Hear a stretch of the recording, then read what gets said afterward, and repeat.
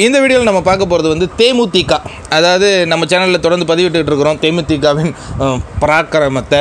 இப்போ இன்னொரு பராக்கிரமத்தை தான் இப்போ போட போகிறோம் அதாவது சில பேர் நினச்சிக்கலாம்னா நான் ஏதோ தேமுதிக மேலே இருக்கிற அந்த காழ்ப்புணர்ச்சியால் வீடியோ போட்டு அவங்கள கேவலமாக சொல்லிகிட்டு இருக்கேன் அப்படின்னு நினைக்கிறீங்க. பட் அது உண்மை கிடையாது.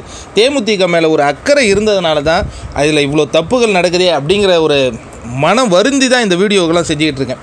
யோசிச்சு பாருங்களேன் ஒரு காலத்தில் வந்து பிரச்சாரம். தேமுதிக சார்பில் பிரச்சாரம்னா விஜயகாந்த் அவர்கள் மேற்கொள்கிற விஷயங்களை மட்டும்தான் காட்டுவாங்க.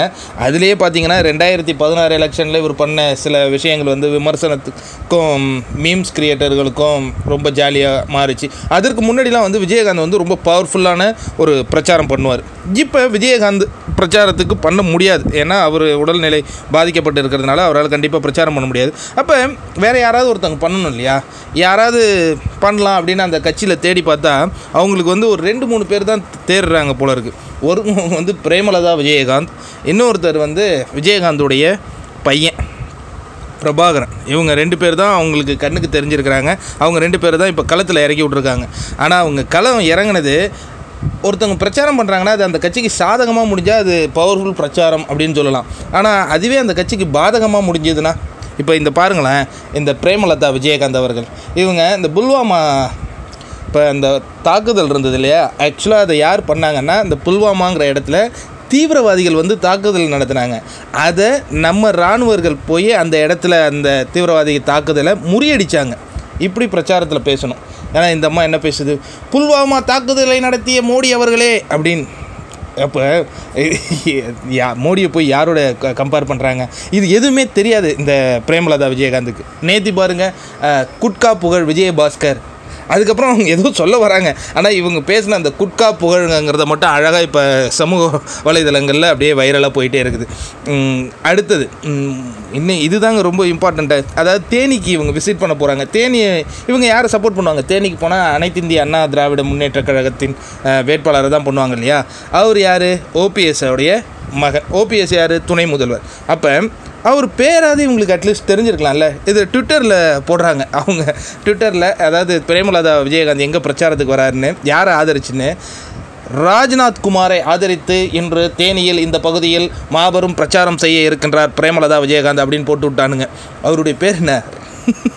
அது கூட அவங்களுக்கு தெரில ரவீந்திரநாத் குமார் நமக்கு கூட தெரியுது. அவங்களுக்கு தெரியல. இதுமாரி தான் இன்னும் நிறைய விஷயம். அது பிரச்சாரத்துக்கு போனாலே அந்த அம்மா பேசுகிறத கண்டா வேட்பாளர்கள்லாம் எம்மா நீ வர வேண்டாம் அப்படின்னு சொல்கிற நிலைமை வந்துருமோ என்னமோன்னு தெரியல. அடுத்தது அவங்களுடைய சிங்கக்குட்டி. யார்? விஜய பிரபாகர் அவர் பேசுகிற பேச்சுகள்லாம் பாருங்கள் ஐயோ எப்பா. அதுவும் ஒன்றுமே ஒரு உருப்படியாகவே இருக்க மாட்டேங்குது. இதை தவிர்த்து வேறு அந்த கட்சியில் வேறு யாருமே கிடையாது. எப்படி இந்த கட்சி நிற்கும் நான் வந்து தேர்தலுக்கு முன்னாடியே சொன்னேன். கூட்டணிலாம் அமையறதுக்கு முன்னாடியே கூட்டணி கன்ஃபார்ம் ஆனதுக்கப்புறமும் சொன்னேன். தேம் இந்த தேர்தலில் யார் யார் எங்கெங்கே ஜெயிப்பாங்களோ தெரியாது. ஆனால் தேமுதிக நிற்கிற நாலு இடங்களிலும் கண்டிப்பாக தோக்கும் அப்படின்னு சொன்னேன்.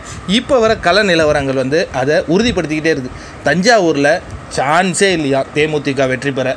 அடுத்தது விருதுநகர்லேயும் வாய்ப்பே இல்லைன்ட்டாங்க. வட சென்னையில் டெபாசிட் கிடைக்குமா அப்படிங்கிற அளவு தான் நிலமை இருக்குது அதற்கு பிறகு கள்ளக்குறிச்சி. கள்ளக்குறிச்சி தான் கொஞ்சம் அவங்களுக்கு எதிர்பார்க்குற தொகுதி. அவங்க மற்ற மூணு தொகுதியும் அவங்களும் க கண்டுக்கல. கள்ளக்குறிச்சி மட்டும்தான் அவங்களும் எதிர்பார்க்குற தொகுதி. அங்கே பொன்முடியோட மகனுக்கு அந்த அளவு வரவேற்பு இல்லைனாலும் எதிர்த்து நிற்கிறது சுதீஷ்ங்கிறதுனால அவர் வெற்றி பொன்முடியோட மகன் வெற்றி பெறத்துக்கும் வாய்ப்பு இருக்கும் அப்படிங்கிற மாதிரி ரிப்போர்ட் வருது. இது ரொம்ப நகைப்புக்குரிய விஷயமா தான் இருக்குது தேமுதிகவை நினைக்கும் போது ஆனால் இந்த பிரேமலதா விஜயகாந்த் அவர்கள் வந்து விஜயகாந்த் அவர்களுக்கு உடல்நிலை சரியில்லை. அதாவது இன்னும் ஒரு ஆறு மாதம் ஒரு ட்ரீட்மெண்ட்டில் இருக்கணும் அப்படின்னு சொல்லியிருந்தாங்களாம். ஆனால் தேவையில்லாத சென்னையில் கூட்டிகிட்டு வந்து அவரையும் கஷ்டப்படுத்திக்கிட்டு இருக்காங்கங்கிறது நினைக்கும் போது ரொம்ப கஷ்டமாக இருக்குது அதை விட முக்கியமானது அவரால் கண்டிப்பாக எதுவுமே பிரச்சாரம்லாம் பண்ண முடியாது. ஆனாலும் பொய்யான விஜயகாந்த் பிரச்சாரம் மேற்கொள்வார் விஜயகாந்த் பிரச்சாரம் மேற்கொள்வார்னு பொய்யான விஷயங்களை சொல்லி இதுமாரி பொய்யர்களை வந்து நீங்கள் வந்து புறந்தள்ளணும். அதுக்காகத்தான் நம்மளால் முடிஞ்ச ஒரு சின்ன விஷயத்தை ஸ்ப்ரெட் பண்ணுறதுக்காக இந்த வீடியோ போடுறேன். நன்றி வணக்கம்.